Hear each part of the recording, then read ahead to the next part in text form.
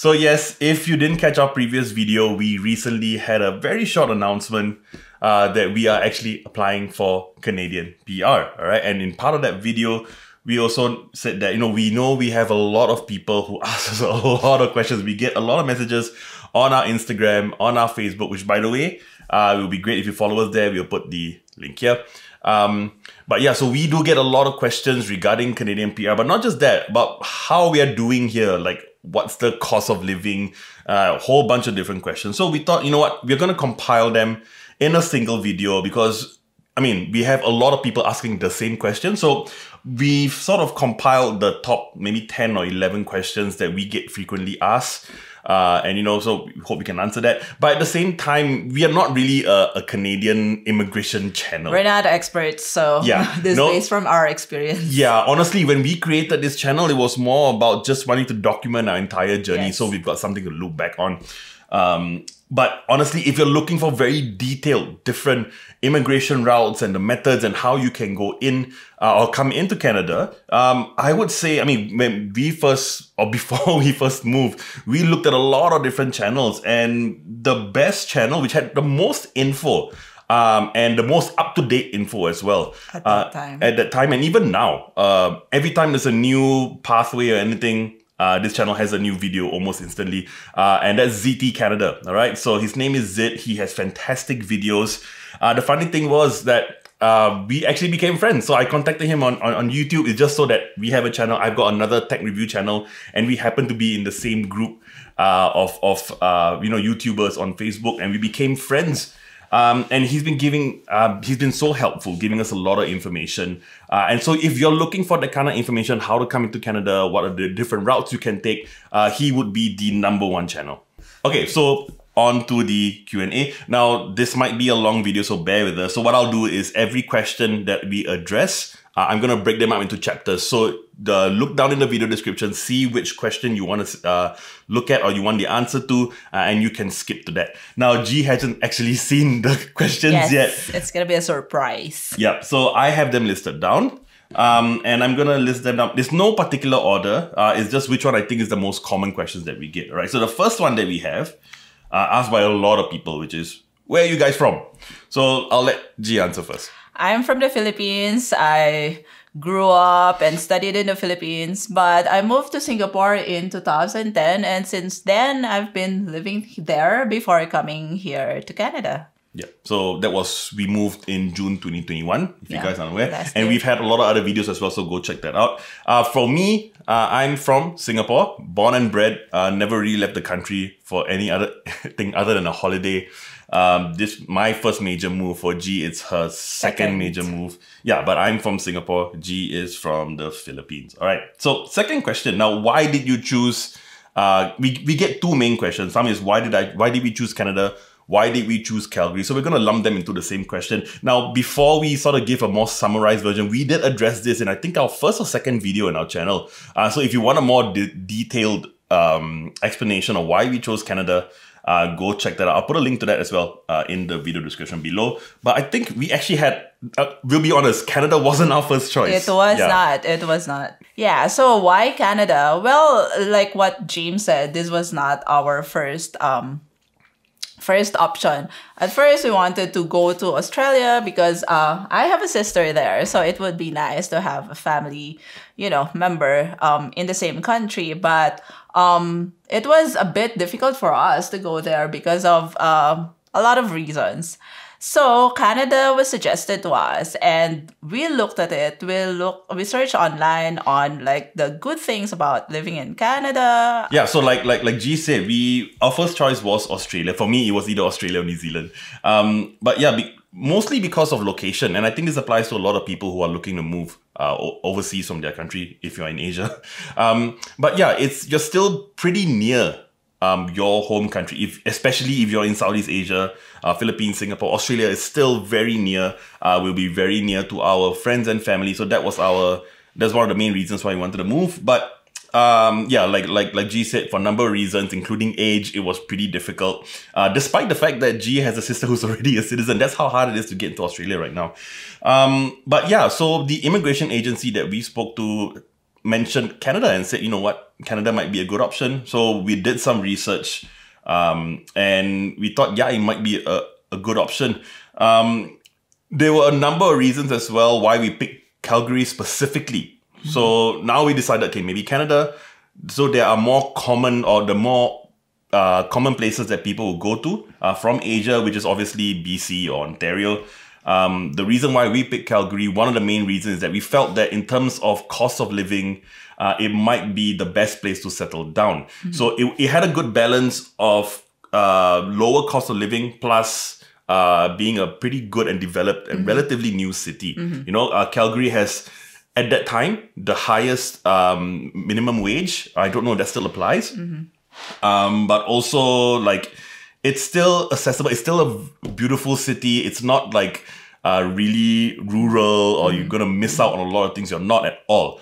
Um, Yeah. and we were worried about like you know how are we gonna find our food, but you know tell them about what we found in terms of, of groceries. Oh, we found a lot of um, stores that sell Asian food, uh, Filipino food, Singaporean food, Malaysian food, and some of them are are um, supplies that I couldn't even find in Singapore or it? The- even in the- Manila. The jute leaves, right? Yeah, so there was a leaf, uh, a vegetable called saluyot that I couldn't find sometimes even in Manila and in Singapore, and here I found it here.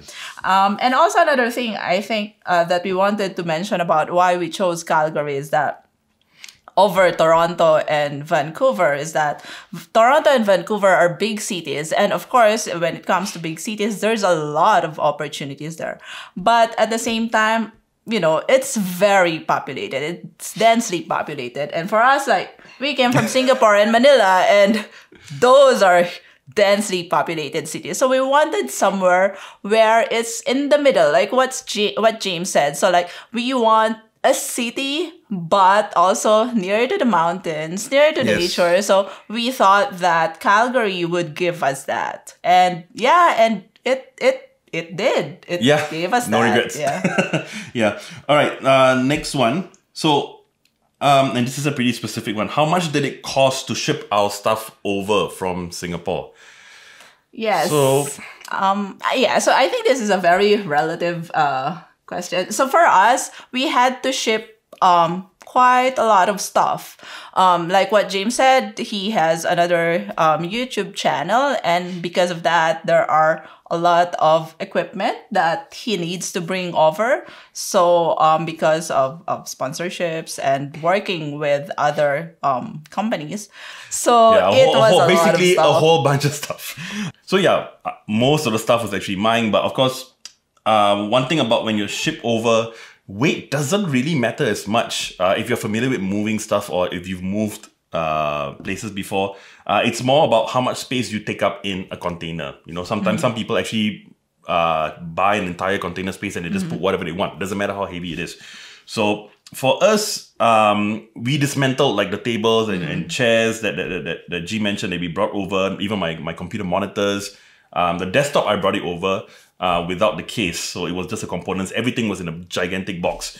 Um, for us, it came up to about three and a half thousand. Treat, yeah, Now, by Singapore standards, that's actually pretty good. Now, what we did was I contacted a lot of movers who are based in Singapore. Um, and we generally got quotes that were about double, right? Six, seven thousand Singapore dollars.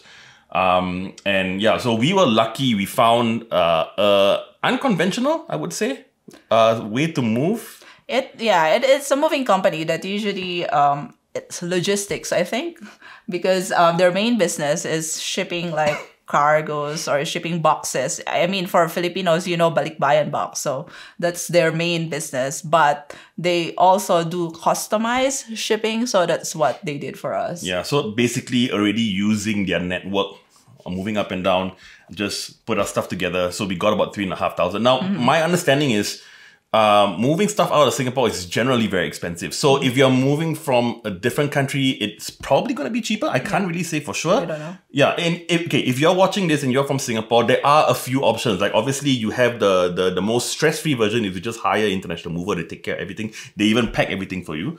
Um, you can do what we did, where we handled all the packing and we just used uh, the company uh, to move. Yeah. And then there's also SingPost. Yeah, right? there's another Yeah. one, SingPost. I think um I I know a few people who have used that. So um I think one their their biggest box is about 20 kilograms. So for this kind of move, it's based on the weight. So James mentioned earlier about the volume the the volume yeah. and so for this it's a it's based on the weight and i think about like um 20 kilograms is about 200 or 400 dollars i think so you can check the SingPost website. Actually, for SingPost, I'm I'm I'm certain that it's also dimensions as well because I wanted to try and move my gaming chair, dismantle gaming chair, through SingPost. Now, in terms of weight, it was fine, but the box dimensions Alright. didn't match. Right. Right. I remember that. So it was both the dimensions and the weight. Now, Mm-hmm. I, if I if I remember correctly, for weight. Um, it was still okay as long as the dimensions were okay, but you to pay more. But because my box, the shape was so out of their their their standard that they just said no. They didn't even give me the option to pay more. They just said no. One thing we will say though, so we easily saved very close to half of the regular shipping fees to move it, move our stuff from Singapore. Um, it did take a long time to reach us. Now, I, I can't say for sure whether if we had used SingPost in Singapore or if we had used the international mover, whether it would have taken that long, but it took about three months. three months we were months. we were told it were like what six weeks. yeah Yeah, I we were so. yeah we were told it was going to take six weeks. It took three months. Yeah. but that's fine. When it when it arrived, everything was everything was fine yeah Yeah. and i think also at that time is that there were some delays because of um because of covid and but i think um one thing that uh based from our experience uh, what i can say is that when it comes to bringing stuff over if you don't really need them for example like kitchen kitchen equipment or uh, winter clothes i think it's better to buy here That's a good point. it's better to buy here yeah. instead of paying dollars for a shipping don't get the idea that you're saving money bringing stuff over. If you're bringing stuff over, it's probably got sentimental value or you don't have a choice. Otherwise, it's probably cheaper to get it here. All right, so the next question, I'm probably going to leave it to, to G to answer. But although, yeah, I think we both can answer. Um, is taking the student route easier than um, normal PR route through Express Entry? Now, before I'll, I'll give G to answer. So, for those of you who don't know, yes, we took the study route here, which means G applied uh, to study in the University of Calgary, uh, got accepted, and then we moved over. So I'm on an open work permit. All right. So yeah, what do you think? Which one's easier? Um, I think it really depends on a lot of factors. If um, you're pretty young and your um, points in the express entry is quite high, like 450, 460, I mean, you could check like what the recent points are in the in the recent draw and you're confident that you could be drawn um, because of your points then it is definitely easier to go the express entry route because it only takes a few months. But for people who are not confident with their points in the express entry, I think going through the study route gives a lot of advantages too. And one of that is you can gain um, Canadian academic credentials. So that will help you a lot when you apply and join the job market. Another thing also is while studying, you could work part time. So you could gain um, Canadian work experience. And while you're studying, I mean, if you have a spouse, um, your spouse could apply for open work permit and um, could could work and could support you and also gain work experience that will help you when you apply for PR. There are also a lot of things that you need to consider. One of it is finances because um, especially if you couldn't get a scholarship, I mean, you could always apply. Um, there are a lot of scholarships available for international students, but if you couldn't get a scholarship, you will have to pay for tuition fee and that would depend on the university that you're going to going to attend or the college that you're going to attend. For my university for my program if i don't get a scholarship every year i think the the tuition fee costs about 12 i think about 12000 plus also you have to consider your living expenses your day-to-day expenses so you have to take note of finances when you have to go through the study route So yeah, a few other things as well. I think we we need to mention. Number one, um, going the study route is not a PR. It's a student permit, And if you're coming with uh, a spouse, it's an open work permit. Now, after that, you still have to apply for permanent residency. So don't forget that it doesn't mean that if you uh, go through the study route and by the time you graduate, you'll graduate with a PR. No, it doesn't work that way. All right. Now, the other thing is, now I know some people, actually, a lot of people aren't really comfortable um, doing the entire process of the express entry application by themselves, you know, so they will go to a um, immigration agency, which if you look at costs, doesn't really matter where you are, you're looking at the thousands. All right. And if let's say you were to go through the study route, from what we've experienced, it's a lot easier than the regular permanent residency route in terms of the number of stuff they have to do, like logistics and all mm-hmm. that. So you can look at it another way where you can take the study route uh, and pay that amount for your fees if you don't get a scholarship, or you apply for a PR, pay probably the same amount to the immigration agency, get nothing back in return, and it's still not a, a, a confirmed thing that you will get your PR. So remember that. Yeah, so I think the main thing I would say is if you're trying to decide you're on the fence whether to take the study route or you know go through the normal express entry route, no matter what it is, always check your CRS score, what points you could possibly get. All right.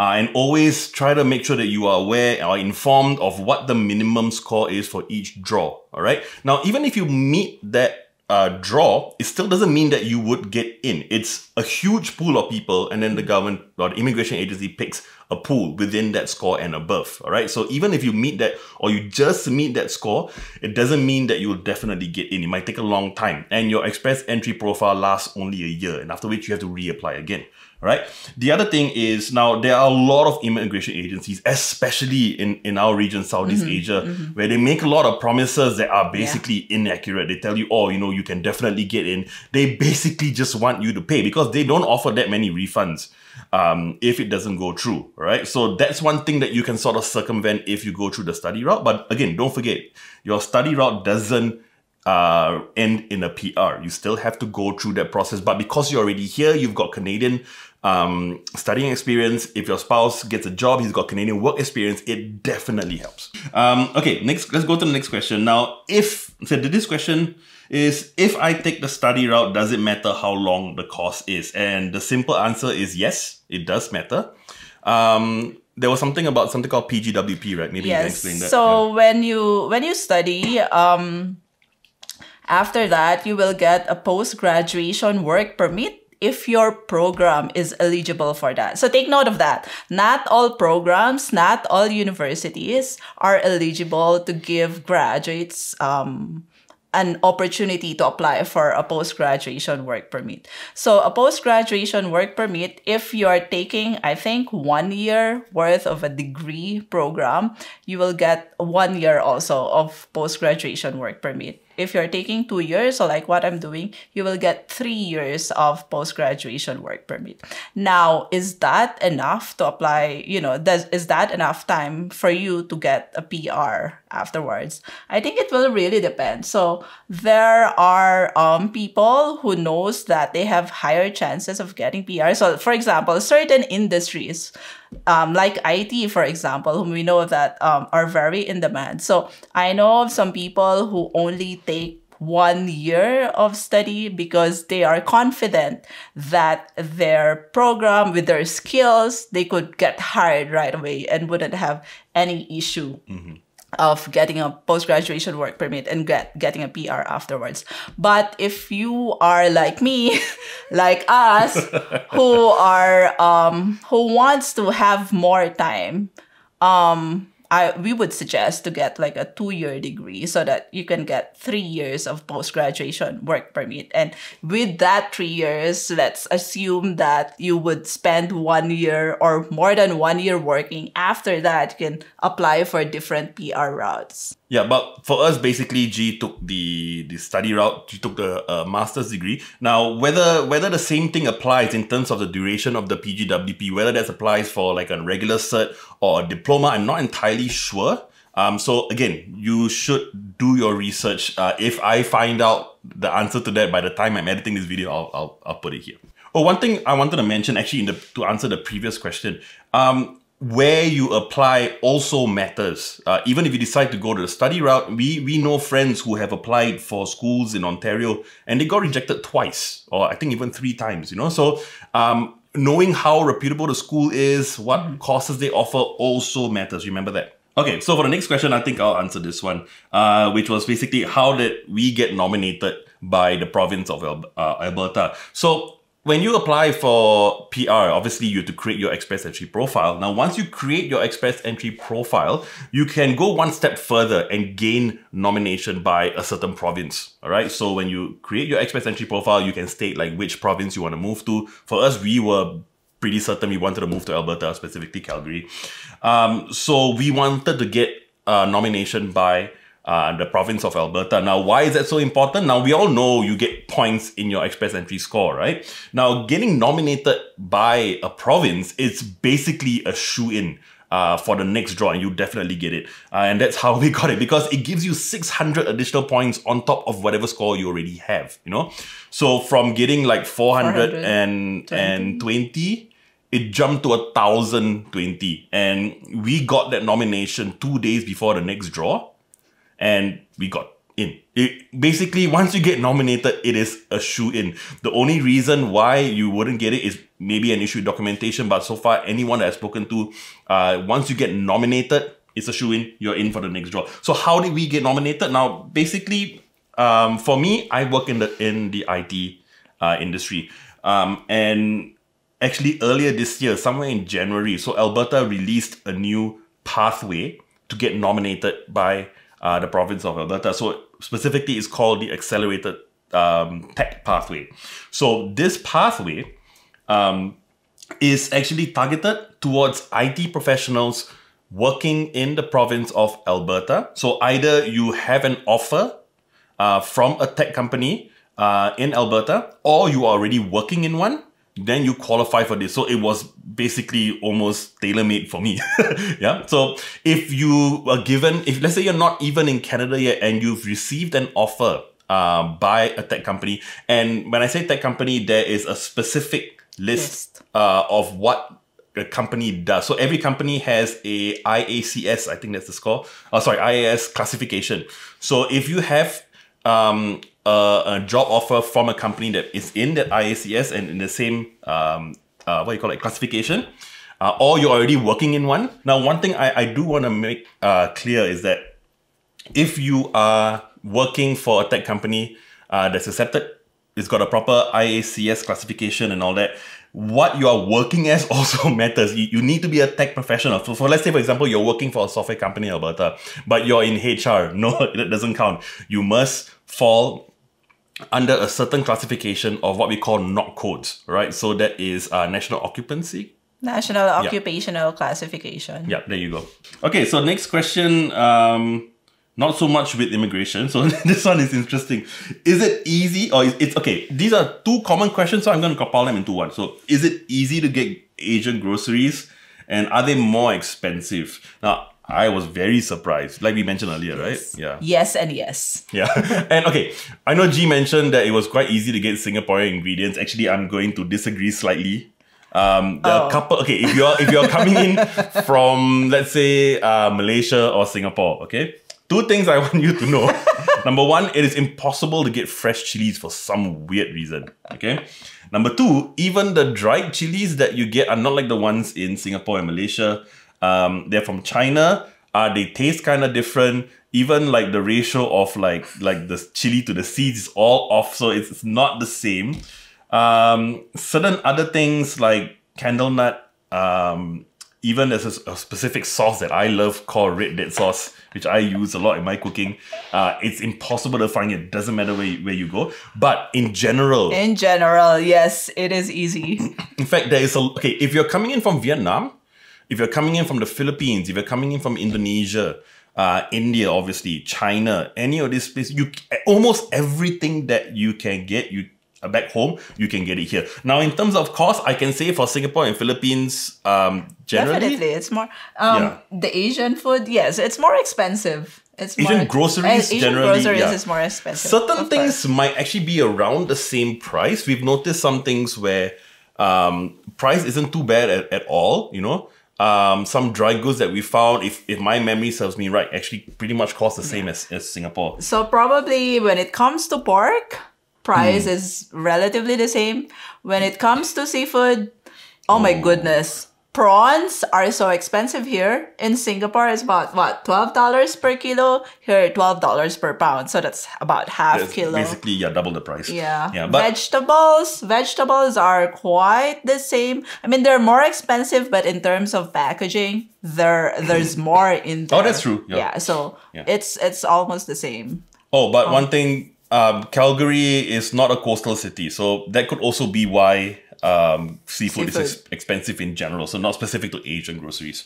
Um, but anyway, yeah. So uh, next question. So what was the biggest adjustment for you in Canada? I think we'll get two different answers. So I'll let G answer that first. So again, what was the biggest adjustment for you? I couldn't think of a very big adjustment right now because um adjusting here was quite easy for us. Um I was expecting that the weather would be a big problem because in Singapore um I get cold very easily. And even here I get cold very easily. But so so I was we were expecting that during winter you know we'll have a terrible time. But I think the mental preparation and the actual preparation helped a lot because mentally we will prepare that oh negative 20 negative 30 is gonna be so cold. You know we don't know what's that's gonna be or how's that's gonna feel like um so we brought we we have like very thick coats. We brought uh, we bought mittens. We bought like proper boots. And when winter came, for sure it was cold. Like when it's minus twenty or minus thirty, when you go out, you can't go out just with this. You have to put on like all the different layers, and you could feel probably in one to you know within the next five seconds that you'd feel the difference um, in the temperature. But it's not like that every day. There are weeks when the temperature will really be as low as minus 20, minus 30, but it's not every day.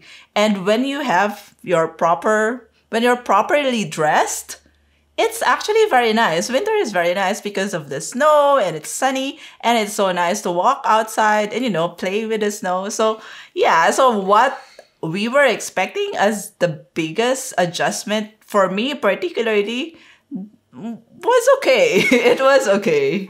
Yeah, I think for for me, the I have a few. Uh, one is definitely the cold. Like for me personally, I like the cold. But when I say I like the cold, I like how it can get cold in Singapore with an air conditioner. Never experienced this sort of, of temperatures before. I've never experienced winter in my life, so this was the first. Um, but yeah, honestly, um, it wasn't as bad. In fact, it wasn't bad at Yeah. all. I mean, anything below minus 20, yes, you will feel it. Like for us, uh, certain parks we went to when it was like minus 27 felt like minus 31. Um, within five minutes walking around, ice was forming in our, our mask and our, our clothes as well. But as long as you are properly dressed, as long as you got the right um, outfits, you're actually fine. It, it's quite a nice experience. And the nice thing about Calgary is that it's so sunny. It's Yeah. extremely sunny. So even if it's minus 10, minus 15, when you got the sun on your face, it doesn't feel, it surprisingly doesn't feel as cold. Yeah, Yeah. yeah. The other thing, and I'm sure G is also thinking about it, but she forgot to mention, is static electricity. so let me just explain. So in Singapore, it's really humid. Most of Southeast Asia is pretty humid. So our body is used to discharging electricity uh, quite easily because of those humid conditions. But when it's really dry here, You get zapped. every few seconds, and it's we've been here for eight nine months now, and we're still not used to it. G is terrified. She's even terrified I'm terrified. to- traumatized. even to open the door, she uses like my pants as hanging to cover and and open the door. And there was one time I actually um reached out my hand to open, and I touched the doorknob, and I could actually see the spark between my finger and the doorknob. Now this doesn't apply to everyone. I know people who moved here and they were like, no, I never experienced it, never never had any static uh, electric shock. So we don't know. It might affect you. It might not. Yeah. Um, I know I personally thought one of the biggest adjustments for me would be food. And it turned out to be quite the opposite. We've cooked so much of our local food that we've normally had here. Like G mentioned, Filipino food is so easy to come by. Uh, Vietnamese food is so easy. Uh, we've made pho, we've made all sorts. Of, if you're watching from Singapore, I've made chicken rice. I've made all sorts of local food. I made char siu, sioba, all that. No issue at all. Basically, everything that you need to get, you can get it here apart from the chilies that I mentioned earlier. Yeah. But the adjustment has been next to nothing. And honestly, we are in a, a city that is so called less popular than others. So I would imagine if you had moved to Ontario or BC, a lot of stuff might even be more accessible. Mm-hmm. But yeah, the adjustment was totally fine. And of course, being from Singapore and, and G living in Singapore for 10 years, uh, I come from an English speaking nation. So language wasn't a barrier for me. Yeah. I remember now, one of the biggest adjustments in terms of weather was not the cold, it's the heat. and it's a bit surprising, probably. You would be wondering why we would complain and like, why would we adjust to the heat? Well, for some context, we came in June and that was early summer. Last year, summer in Calgary and in Canada apparently was very bad. It was like a record breaking summer in terms of heat. Um, and there were also a lot of forest fires. Oh, and duration as well. It was also the longest summer, yeah. Yeah, because usually apparently like you will get like very hot weathers on average about five days a year. But last year like we would get it like consecutively yeah in months and it was 38 Yeah, 40 38, degrees kind yeah. of weather and the difference is and this is a bit funny because we learned that um, we didn't have aircon because in, in the Philippines or in Singapore, in the Philippines, when it's hot, you turn on the fan. Um, and because of humidity, somehow, somehow it helps. In Singapore, when it's hot, or which is most of the time, well, bus is cold, buildings are cold. Um, in your house, you can turn on the fan, you can turn on the aircon at night and have a good night's sleep. But here, you don't have air conditioning and it's dry. But so we didn't have, not that it doesn't exist. Oh we yes, didn't have. but most of the houses do not have air conditioning. So at night we couldn't sleep well. When you lie down on the bed, it's like you're. It's like uh, there's The heat fire. just gets trapped, and, yeah. yeah. So that's one of our biggest adjustments. I think the Yeah. heat in the summer. But we are prepared. We bought a portable air conditioner. We're not allowed to have a proper air conditioner, so we bought a, a portable air conditioning uh, unit. So hopefully this summer is a bit better. I, I know these portable air conditioners aren't that great, but we'll see how it goes. Okay, all right. So next one, um, we have two more questions. So next one is how much money should I save before moving to Canada? And that honestly is a pretty loaded question. Um, first of all, it kind of depends on on on what you do. I, I don't know if that's the it right depends. thing to say. Yeah, It, it depends on your lifestyle also, or um, or how much you can save. No, but I think it really depends on the kind of lifestyle that you have and you want to maintain when you're here in Canada. But in terms of like um the minimum or the, the, the government has a recommendation of how much money you should be having before coming here. And they also have recommendations on how much like when it's just you when you're coming with your family when you're coming with your kids. So you can search um, the government website in terms of like Actually, it's not even a recommendation; it's a mandate. You, you Oh, need to have right, that amount. yeah. So if you're coming alone, it's a certain amount. Uh, if you're coming with a spouse, it's a certain amount. I, I'm gonna I'm gonna list them here. Um, but yeah, so you do need. in- So it, the question is kind of twofold. Like, how much do you need to qualify? There's a certain amount. Mm-hmm. How much do you need? Do you think you need to survive? That's a loaded question, depending on what kind of lifestyle you're expecting. Mm-hmm. Uh, one thing you need to note, depending on where you go to, like for example, Calgary you generally need a vehicle. You know, uh, there is public transport. It runs smoothly. It's generally pretty clean. Um, but then there are issues like duration. They are not as um, well efficiently planned as like Singapore and all that. So one example I can give you is that for me, um, we I we bought our car about two weeks after I got my job. All right. So for the first two weeks, um, I was taking public transport. Uh, we lived in a, we live in northwest of Calgary. My office is in the southeast, so the opposite side diagonally. Um, when I got the car and I drove to work, it's about 20, 25 minutes.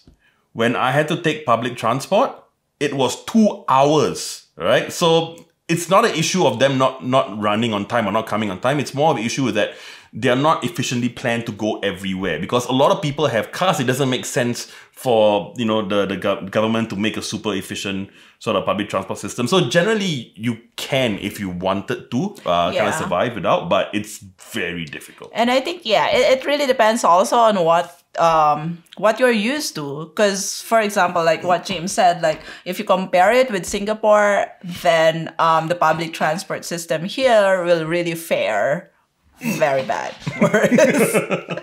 but for example, if you're uh, a commuter in Manila, Oh yeah. who's used to traffic. So for example, when I was working in Manila, I stayed in Cubao and I work in Pasay. Um, I would wake up at what six six thirty, leave home around seven thirty, and reach Pasay at nine thirty. So that's two hours. So that's every day. And the difference also is that in, in, in Manila, like you would ride a jeep, you you know you would ride the LRT very um and and you know you would shove your way through the MRT crowd. I mean Filipinos people in Manila would know what I'm talking about. So you won't experience that here. So public so if you compare it with Manila, public transport system here is still better than what we have there. So um yeah, so it really depends. Um It's okay. Another thing is you're not gonna get any EDSA jams here. No. Okay. You do have heavy traffic. You do have uh, jams occasionally, maybe caused by an accident, but generally, even during the peak period, traffic is okay. There's probably one highway, Deerfoot, the Deerfoot uh, Trail, where you know during peak period it can get pretty jammed, but other than that, it's totally fine. Okay, and I think I have to explain what we mean by jam. When it's jam, it just means that the vehicles couldn't move like 80, do- 80 kilometers per hour, but it's moving. You are not stopping. You know, you only stop when the traffic light is on red, but when it's jammed, it just means that you move slowly, but you still move. Yeah. So, but going back to the question in terms of how much money, um, in terms of groceries, and we're gonna do a, a- another video talking more specific of how much we spend, how much are the general stuff. So, if you wanna, if you have a question like how much does this cost in Calgary, let us know. We'll do a more detailed video on that. But generally, I feel like we're spending about four hundred on groceries, for six, I think. and we are not being very efficient with our money. I will admit, we can be a lot more efficient with our money. Um, for me, I'm the kind of person that doesn't like to eat the same stuff every day. So uh, I'm I'm a little spoiled that way, I guess. So you could definitely spend a lot less uh, in terms of that. So you one thing. In, so going back to the question, I would say is think about how much you need to survive for at least a year. If you're talking about you have a spouse coming and you need to uh, look for a job, I was extremely lucky to get a job in the first three months. Not everyone is that lucky. Some people take six months. I know people who've taken a year to get a job. So think about how much you would need to survive, like maybe a year just to be safe. Uh, and then that's the kind of number you should be looking at. Yeah. and and probably um we know that there's a lot of interest for this kind of information. So like how much do you have to pay for rent? How much do you need for groceries? How much do you need to survive for a month in general? So probably we'll we'll make another Yeah. video um on that. Yeah, we, I mean, we, we need ideas as well. Let us know what kind of videos you want us to do. We're happy to do that. Um, so we'll come to the last question, which is sort of connected to the previous question. Uh, and this was asked to me a few times actually, uh, even by some friends. So was it difficult to convert my driver's license? Um, and was it difficult or is it really expensive to buy a car? So um, first we'll address the driver's license. So if you're coming here for a short period of time, I think it's like two or three months, uh, you can just apply for something called an international driving permit. All right, so that allows you to drive. I believe it's three months. I'm not entirely sure. Um, and you don't need to convert your license to an Alberta license or a Canadian one at that. Um, if you're here for the long term and you want to uh, convert it to a Canadian license, now um, Canada has what they call a reciprocal license exchange uh, agreement with certain countries. And again, I'll, I'll put it somewhere here. I think all the countries that qualify. So if you're coming in from this country, it's really easy. Just do a swap with your license. Now, Singapore, unfortunately, doesn't have this sort of agreement. I think the main reason for that is because in Singapore, we drive on the other side of the road. Steering wheel is on the other side. Um, so I had to go through the process. So what I had to do was first, I had to take a theory test. Pretty straightforward. Um, you, you can you can download a PDF for that. It's basically if if you have driving experience, it's pretty easy. It's just understanding the laws uh, here, and they're always specific to the province. So remember that, right? Um, after that, you take what we kind of like a basic test. So it's called a GDL seven license. Okay, so once you get that license by right, um, you have to keep that license for a year and have, and it's very restrictive in terms of how you can drive. First, you need someone with a, a full license with you in the car, or else you can't drive. Uh, you can only drive certain times of the day as well. I'm not going to give too much details. Go on the website; you can check it out pretty. You can find out pretty easily. Um, and after a year, then you can apply for the GDL seven full license. All right. Now, because I've got past experience, I actually applied for a GDL7 exemption. Okay. Uh, so I had to submit documents. And once I did that, uh, it allowed me to bypass that whole year and go straight to the full license, which is called a GDL5 license. Or not even GDL, just a class 5. All right.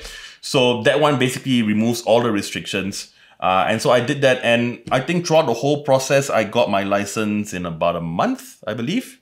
Um, I chose to take some lessons, just like sort of refresher, because back in Singapore, I haven't driven for a few years. I sold my car a long time ago. And also because driving on the other side of the road, and plus, compared to Singapore, there are a lot more road signs here, a lot more specific signs uh, compared to Singapore. So I really wanted to understand. I wanted to drive around and get used to it before the test. So for me, it took about a month. For some of you, it might be a bit shorter. And next one about the car. So again, whether it's expensive depends on where you're coming from. If you're in Singapore, you're already in the country with the most expensive cars in the world. So yes, it's going to be cheaper.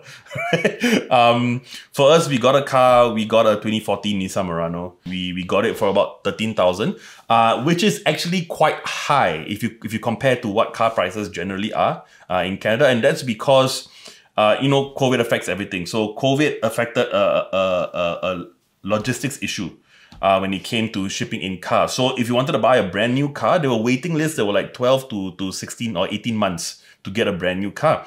Um, and that affects the used market as well, you know? So cars, the prices were going up. In fact, when we started car hunting, like one day I would shortlist six cars.